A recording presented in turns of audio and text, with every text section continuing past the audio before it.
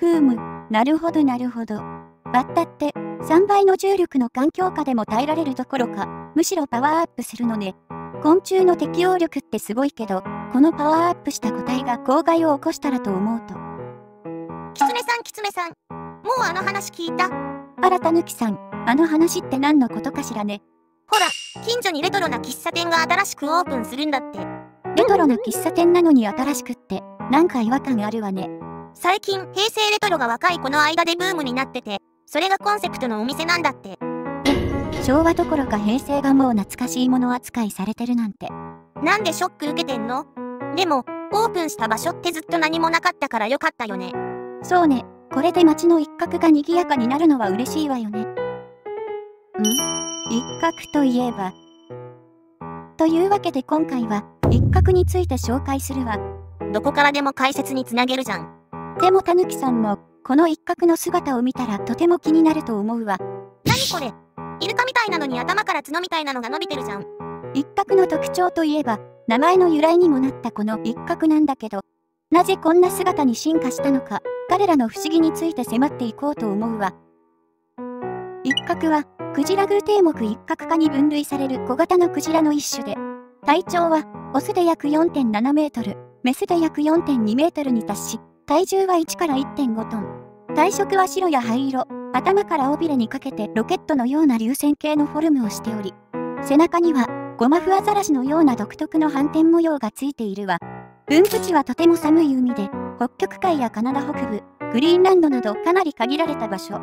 普段は5から10頭程度の群れを作り、主にタラなどの魚やイカを食べており、カナダのある海峡には世界の4分の3もの一角が極端に密集していると言われているわ。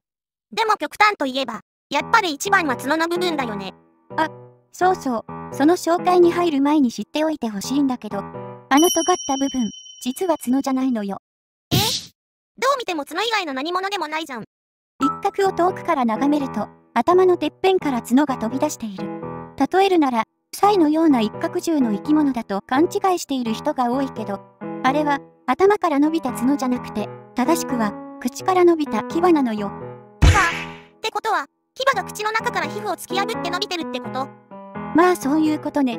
頭骨を見ればわかるように、この牙は歯が変形したもので、一角の歯は上顎に2本の前歯が生えているだけなんだけど、オスだけはなぜか、左の前歯だけ異様に伸び、成長すると上唇を貫通して長い牙へと成長するわ。マジで変な生き物じゃん。一角の牙はオス特有のもので、長いものでは3メートルほどにもなり、近くで見ないとわからないんだけど、なぜか、左回りの螺旋状の溝があるわ。だから一角のあれは角でもなければ、頭の中心部から出ているわけでもない。見た目から変な生き物だけど、その構造を知るとさらに変っぷりが際立つわね。ちなみに、500頭に1頭の割合で、突然変異で2本の牙が伸びた。一角ならぬ二角が出現することもわかっているわ。ポケモンの色違いか何か？そんな一角の牙の使い道はというと。はいはいはいはい。僕わかるよ。あら、それならたぬきさんに紹介してもらおうかしら。一角は、海の中で獲物を見つけると、正面に狙いを定めて。ん？一角スピントルネードいやーちょっと、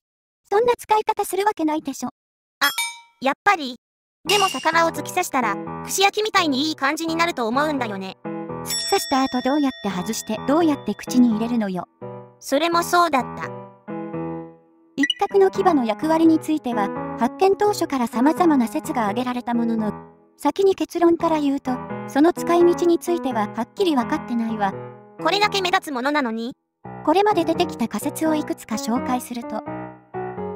1、氷に穴を開けてる説。これは、牙に螺旋状の溝がついていることから出てきた仮説で、目的はともかく、北極海を覆っている氷に穴を開けるために発達したのではと言われたわ。これだけ長い牙なら、分厚い氷も一発で貫通しそう。2、獲物を取る武器説。やっぱり突き刺してたりそういう使い方じゃなくて、水面に長い牙を打ち付けているのではないか。一角は、クジラやイルカの仲間で肺呼吸するため、集団で水面近くを泳いでいることも多く、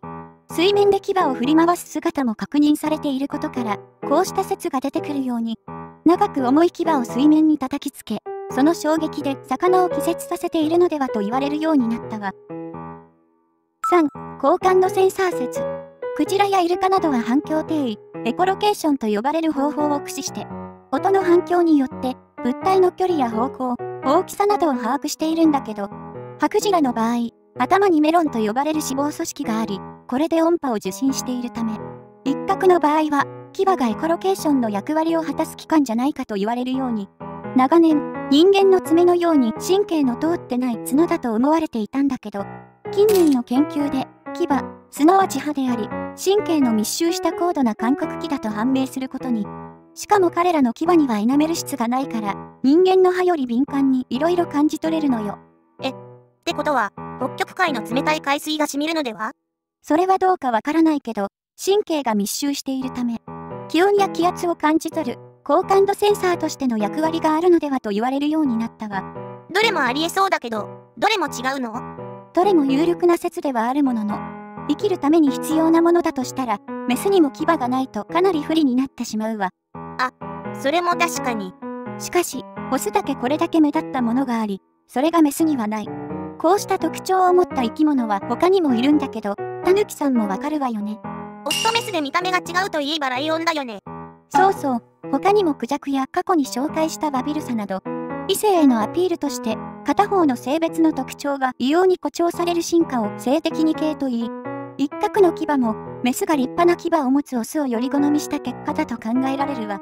でも、牙が長すぎても不便なのでは？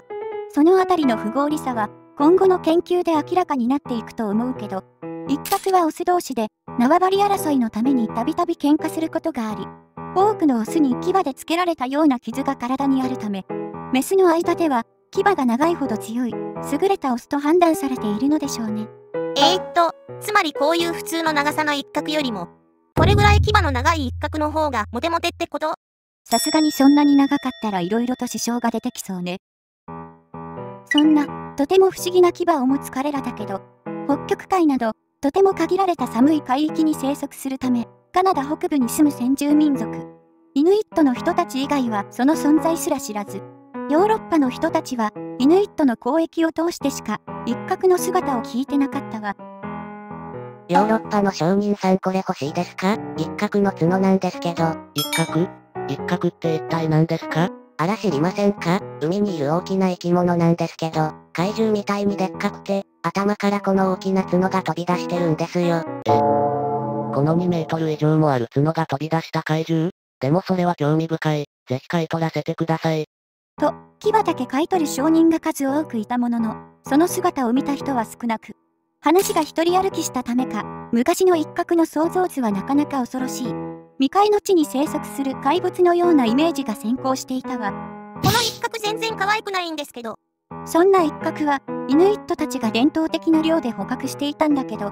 17から19世紀にかけて、一角の角が流通するようになると、その美しさから美術品としての価値を持ち、ノルウェーのバイキングは、一角の牙を携え、世界中に売り込むことに。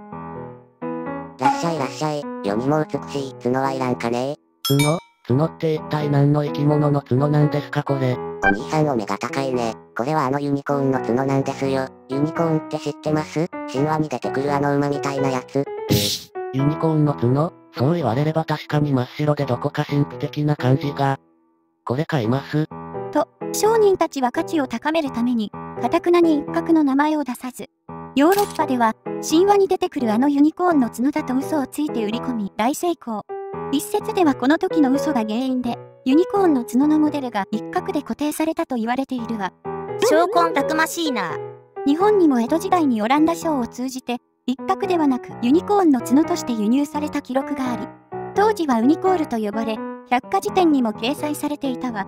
でも、そんなの輸入して何に使うの？飾るの？それもあるけど、中国や日本では主に漢方として輸入していたのよ。へ、牙が漢方。一角の牙の主な成分はカルシウムでしかないんだけど、江戸時代にはなぜか、鎮痛解毒剤として効果のある漢方として重宝され、他にも、印鑑や留め具などの工芸品の材料として価値がつき、乱獲されてしまったわ。ああ。そんな一角の牙には、一体どれほどの価値があるのか。実は2013年に、あの、何でも鑑定団にも登場したことがあるわ。へその時はどうだったんだろう。依頼主の深沢さんは綺麗好き、家はいつも綺麗じゃないと落ち着かない性格なものの、家には大きな一角の牙や骨董品がゴロゴロ。亡き寄付が借金の方として受け取った品と聞いていたものの、10年前の引っ越しの際、この際だから思い切って処分しましょうか。業者に頼んで、残りの骨董品と一緒に1万円で引き取ってもらうことに。へああこれですっきりしたわね。あれ、お母さん、家にあった一角の牙とか骨董品どこにあったの？あれ業者に引き取ってもらったわよ。え？家にとって大事なものだから捨てちゃダメだよ。そう強く引き止められ、しぶしぶ業者から返してもらうことに。果たして残しておくほどの価値があるのか知りたくて鑑定団に持ち込むことに。その本人評価額はなんと、100万円を提示したわ。100万円。処分しようとしてたのに100万円はやりすぎでしょ？鑑定額は350万円になったわ。ええしなくて本当によかった。息子さんに感謝しないといけないやつ。他にも2021年の放送で、父が骨董商から購入したという一角の牙が登場したんだけど、こちらもなんと、300万円の鑑定額が付けられたわ。ひょえ綺麗なまま残った立派なもので、付け根部分の変色したところが体の中に入っていたところ、重さ7キロ近いものは、博物館にあってもおかしくないような一級品になるわ。江戸時代の記録によると、一角の牙は、金と同じぐらいの価値で取引されたそうで、金沢にある戦争閣の茶室には、2.7メートルのものがはめ込まれているわ。しかし、一角はそんな目立つ牙を持っていたせいで、人間に狙われてしまい、もともと少なかった個体数がさらに減り、現在は世界中に5万頭程度。希少な生き物のため、1975年のワシントン条約発行時には、カナダの個体群がワシントン条約付属書さんに、1979年には、クジラ単位でワシントン条約付属書2に掲載され、現在は牙の輸出も政府の許可がなければ NG になっていて、しっかり守られているわ。人間のせいで数を減らしたステラー海牛を思い出した。ステラー海牛はうちのチャンネルで以前解説した生き物で、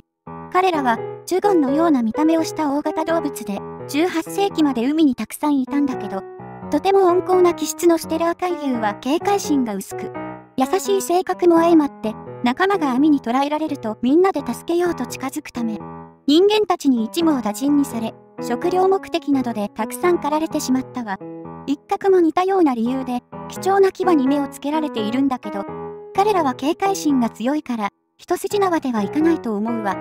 そうなの？普段は魚を捕食しているから動きは俊敏で、他のクジラ類よりもすぐに身を隠すわ。これは彼らの天敵、シャチやホッキョクグマから逃げるために身につけた習性であり、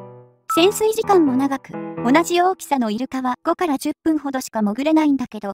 一角は20から25分も水の中で過ごせるのよ。やるじゃん一角。持ち前の危機回避能力を活かして、天敵や密漁者から逃げ切ってほしいんだけど、実は、その神経質さが、マイナスに働いているようなのよね。どういうこと？一角の性格は、とても繊細で臆病だと言われることもあり、船で近づこうとしても、その音や振動を察知して、すぐ深いところに潜って逃げてしまい、間近で姿を見ることも、観察や研究をすることも難しいと言われているわ。2017年、アメリカの科学誌サイエンスに掲載された論文によると、一角の生息海域近くの貨物船の移動や石油採掘など、人間の活動が負担になっているようで、音や振動を感知すると、彼らは深い海に潜ろうとするんだけど、この時、慌てて急潜水するためか、体に大きな負担がかかっていたのよ。そんな影響があるんだ。一角は潜水するとき、体の中に蓄積された酸素をうまく使いながら泳ぐんだけど、船や採掘などの音に驚いたときは、蓄積酸素をうまく使うことができず、心拍数も異常に跳ね上がり、酸素が体にうまく行き渡っていないことで、脳をはじめとする様々な臓器が損傷する恐れがあると言われているわ。今現在、一角は絶滅危惧種に指定されてないものの、北極海の環境の変化は目まぐるしく、1979年から2022年までで、氷の面積が1年あたり8.7万平方キロメートル減少しているんだけど、これは毎年、北海道と同じぐらいの面積の氷が消えていることを示しているわ。あのでっかい北海道分が丸々？一角は、北極熊から姿を隠す際にも氷を利用しているんだけど、北極熊も氷を利用して姿を隠し、アザラシなどを飼っているわ。北極とカナダ北部の境では、ピズリーと呼ばれる北極熊の雑種が生まれる事態も発生しており、飢えた北極熊たちが南へ移動している様子も確認されているわ。みんな生きるのに必死なんだな。こうした異変がここ数十年で起きていることは、頭の中に入れておいた方がいいわね。個性的な角、じゃなくて牙を持った一角はどうだったかしらそもそもこれが角じゃないことにも驚きなんだけど、まだまだ謎だらけなのに、漢方として使われてたのはちょっと不憫だよね。そうね、一角の牙は博物館などに飾られているから、ぜひ実物を見てほしいんだけど、確かに正体を知らなくても、不思議とその大きさと美しさに魅了されるわ。でも、せっかくなら実物を見てみたいな。一角を飼ってる水族館とかってどっかにないの？一角は、北極海の冷たい海の生き物で、環境の再現が難しいからか。牙を展示している水族館はあっても、世界中どこも飼育はしていないわね。そっか、それじゃあ諦めて博物館にでも行こっと。北極とかカナダに行けば合いそうだけど、絶対寒いところに行きたくなさそうね。